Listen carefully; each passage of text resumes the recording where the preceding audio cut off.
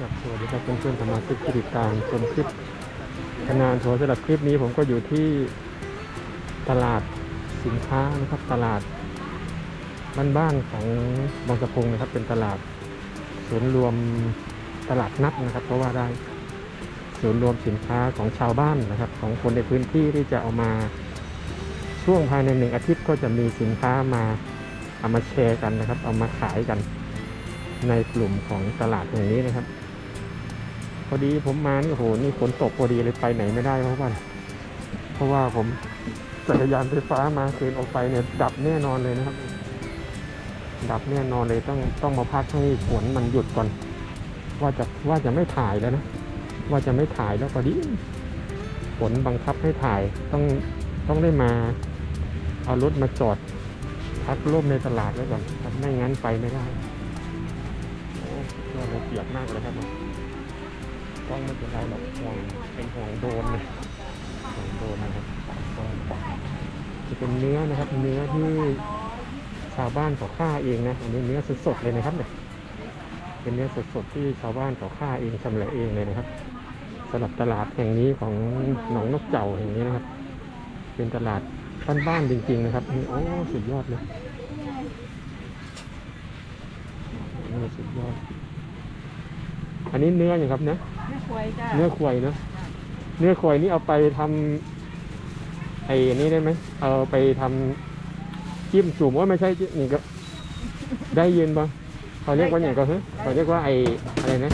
กินดิบๆนะโอ้จุเขาเรียกว่าจุนะครับโอ้เนื้อควายนี่มันทำได้ไหมได้ได้ทำไมจุควาย จ้าปกติมันจะมีแต่เนื้อวัวด้วยนะอืตัวมกระแซบไม่ควายกระแซบแน่นปะครับ อันนี้สดๆเลยนะเนี่ยอันนี้แบบชาวบ้านฆ่าเองเลยนะครับเนี่ยอืมโอ้สุดยอดเลยทำจุได้นะครับเนี่ยได้ควายเดี๋ยวขอเดินดูบรรยากาศตลาดกันโอ้สุดยอดเลยโอ้ยพอดีฝนหยุดแล้ว เดี๋ยวก่อนที่เราจะกลับบ้านเดี๋ยวเรามาแวะดูตลาดแห่งนี้กันสักเล็กน้อยก่อนนะครับเนี่ยโอ้พอดีบรรยากาศได้เชิญชวนให้มาแล้วโอ้โหนี่สุดยอดนะครับปลาตัวใหญ่มากเลยฝ่ามือผมเนี่ยสุดยอดปลานิลแบบ สดๆเลยนะครับเนี่ยทาเกลือเนี่ยโอ้โหสุดยอดอันนี้ตัวเท่าไหร่ครับเนี่ยตัวเท่าไหร่ถามราคากันห้าร้อยยี่สิบตัวละร้อยยี่สิบไม่แพงนะครับ ตัวละร้อยยี่สิบนี่ใหญ่มาก ตัวละประมาณเกือบเกือบเป็นโลแหละเนาะเป็นโลเนาะโลสองขีดโลสองขีดเลยนะครับร้อยยี่สิบบาทโอ้สุดยอด เดี๋ยวเดินดูบรรยากาศสักหน่อยแล้วก็จะปิดคลิปนี้นะครับเอานี่แซวผู้สาวแซวกันไม่รู้ผู้สาวแซวกันเรื่องอะไรด้านนี้ก็จะเป็นปลานี้ใหญ่ร้อยสี่สิบค่ะใหญ่จริงๆโลละร้อยสี่สิบอันนี้รวมเก้าสิบค่ะ โลเก้าสิบโอ้ใหญ่เลยนะใหญ่มากวันนี้ปลานี้แกลอันนี้จะเป็นผักสดนะครับำอะไรคะมัดเท่าไหร่นะมัดละสิบป่ะจ้าถ้า คนไม่ได้เอ๊ะให้เดี๋ยวเรามีจะเอาคนไหนมาได้นำมาสันเอาสองมัดจ้าสองมัดก่อนได้แล้วผักนะครับไม่มีอะไร มาก็ต้องเสียค่าคุ้มครองให้แม่ค้ากันแล้วเรามาเดินชมกันต่อนะครับโอ้สุดยอดเลยก็จะเป็นบรรยากาศตลาดผักโดยมากก็ผักผักทุกอย่างนี่ปลูกเองหมดนะครับเนี่ยอยู่เพราะว่า บริเวณนี้จะใกล้กับน้ำเลยนะครับโซนใกล้น้ำเลย แล้วก็ไม่ว่าจะเป็นผักไม่ว่าจะเป็น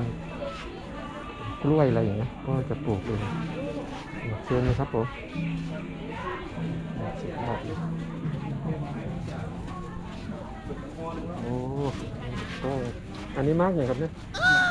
มะกองเนาะโอ้สุดยอดเลยหวานส้มเปรี้ยวเนาะครับมีเป็นส้มเปรี้ยวอันนี้คืออันนี้เนื้ออย่างครับเนี่ยอัน เนื้ออันหนังควายครับหนังควายครับผมอันนี้อันนี้เอาไปเผาเลยนะเอาไปเผาเลยใช่ไหมเท่าอย่างนี้นะ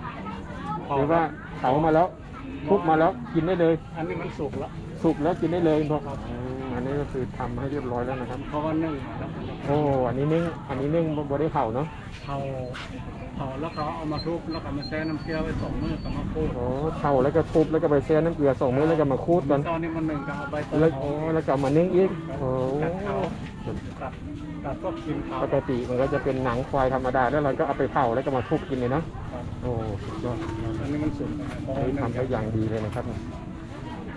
ครับเดี๋ยวแล้วขใจอของเดี๋ยวขอดูก่อนออกเดินดูก่อนครับเอาก็ขายอยู่นะครับ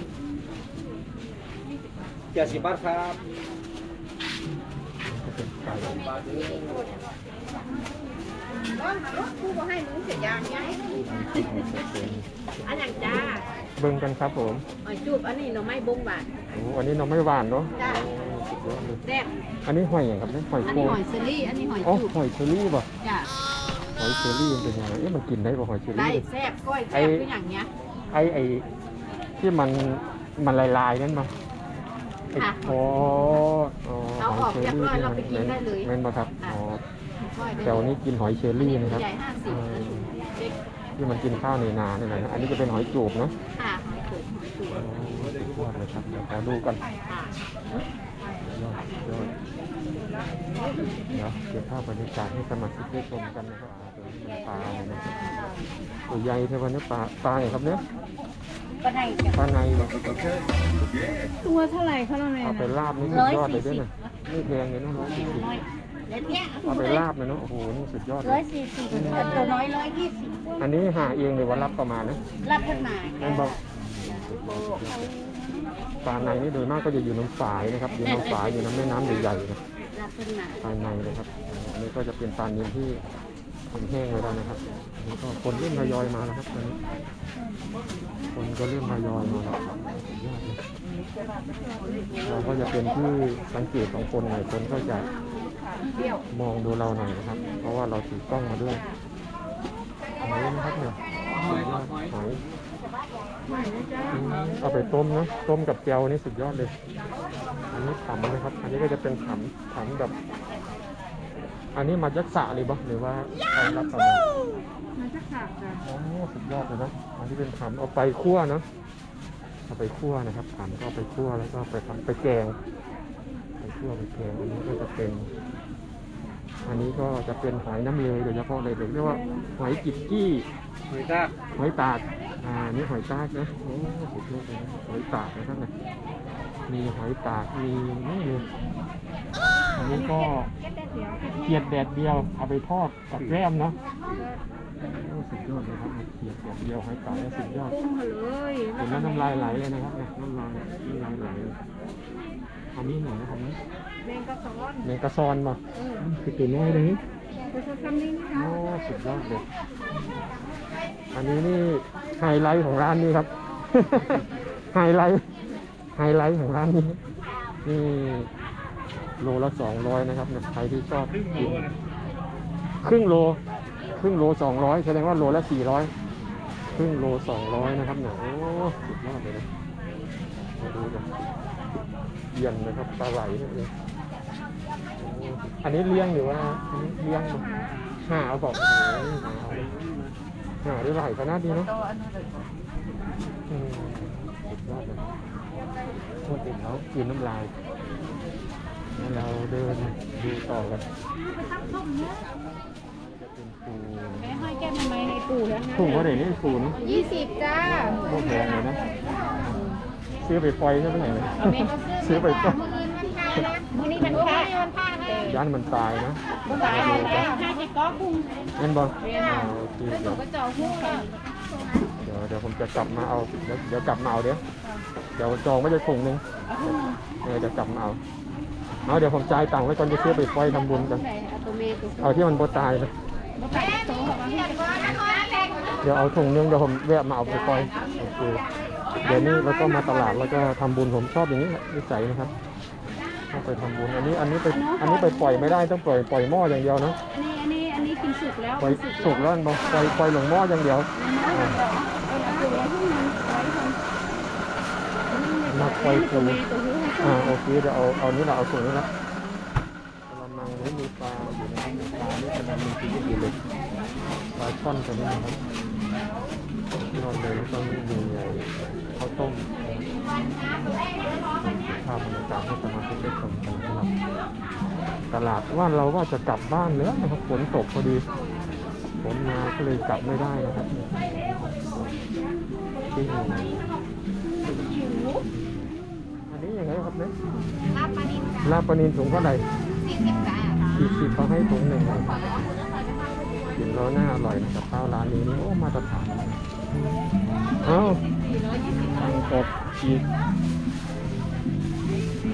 ก็เดี๋ยวตังค์อีกแล้วครับอย่างนี้สื่อถึงความผิดพลาดทางที่ใจหรือว่าทำให้เราปฏิความที่จิตความไม่ดีเป็นอย่างนี้แล้วก็น่าอร่อยนะยำหัวปลีเนาะยอดเลยอันนี้ก็จะเป็นสันนอกนะครับนมเย็นไม่หวานหลังจากที่เราเดิน อ๋อนี่เหนื่อยแล้วเราก็มากินน้ำกันนะครับนมเย็นชามะนาวอยู่ที่ตลาดหนองนกเก่าวันนี้ก็ได้นิดๆหน่อยแล้วก็ซื้อปูนะครับไปปล่อยอ่าสุดยอดเลยฝนก็น่าจะหยุดแล้วมั้งฝนน่าเราน่าจะกลับบ้านได้แล้วครับ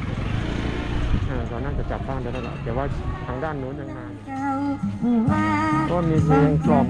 เบาๆนะครับโอ้สุดยอดเลย รที่เดินผ่านไปผ่านมาก็เนี่ยนะยังอยู่กระเป๋าขอบคุณค่ะและดีมีตาน้ำตาไหลเอ่อที่บ้างเมื่อตกตังทาอุเบาพังคูได้บรรยากาศมากเลยครับสุดยอดเลยสุดยอดเลยมีเพลงฟังม่วนๆเลยครับงานนี้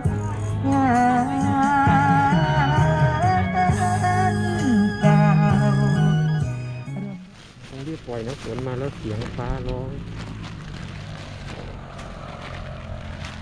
ไปเลย